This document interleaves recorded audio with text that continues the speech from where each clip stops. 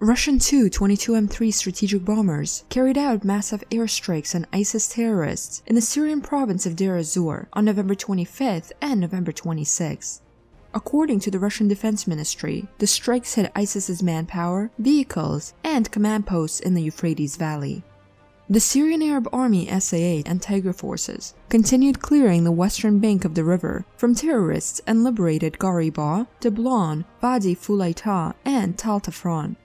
On November 26th, the Syrian Kurdish Hawar news agency ANHA claimed that Turkish-backed militants have shot down three Russian helicopters over the northern Aleppo countryside. An official of the Kurdish People's Protection Unit's YPG told ANHA that several Russian pilots and high-ranking officers were killed or injured in the supposed attack on the Russian helicopters.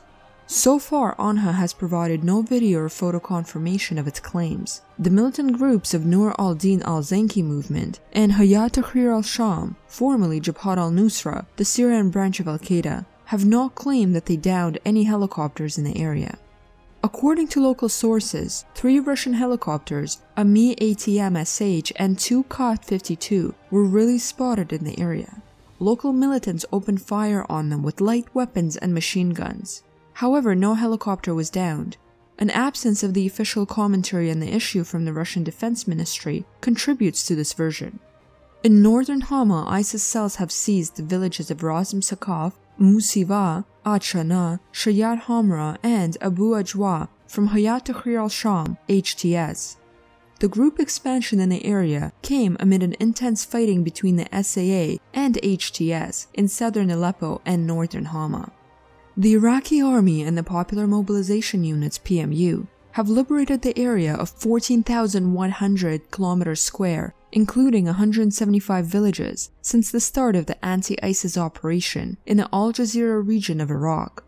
During their advance, government troops have destroyed 11 vehicles, 5 oil tankers, 18 car bombs, and 6 motorcycles of ISIS, as well as dismantled 1,000 IEDs planted by ISIS.